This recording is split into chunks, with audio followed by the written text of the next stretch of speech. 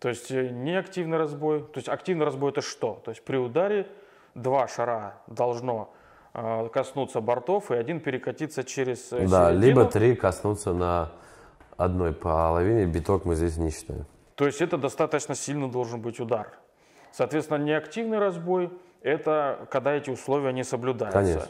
И при играх стандартных это считается штрафом. Да.